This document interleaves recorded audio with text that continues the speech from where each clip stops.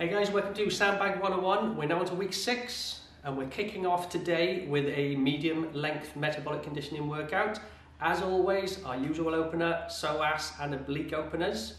We're then moving on to today's song, which is going to be a sumo stance squat jump to the classic Bill Withers Lovely Day. Sumo stance is just going to be wider than your regular stance squat. Don't be concerned about depth, be concerned about feeling tension at the bottom, position of your squat. So you're going to hold isometrically, squat down to a position where you can feel tension everywhere, not relaxed, you should feel tension.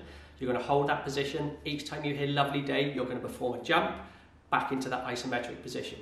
No perfect position with this. If your toes are slightly out or slightly in, again, you can play around with it as long as the knees aren't caving in. That's, that's not what we're looking for. You're looking for engagement of pretty much the entire lower body to maintain tension throughout the whole thing. This is going to burn a lot, but try and hang on as long as you can and get some height on those jumps.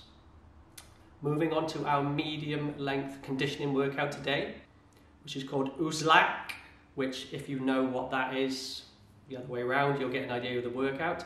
This is 100 burpees, but starting on minute zero and every minute on the minute, you can perform five sandbag thrusters.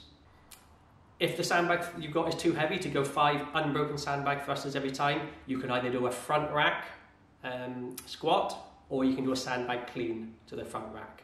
Okay, whichever, or you can reduce the rep range to three. But they should be unbroken all the way through. Obviously, the quicker you do the burpees, the less thrusters you have to do.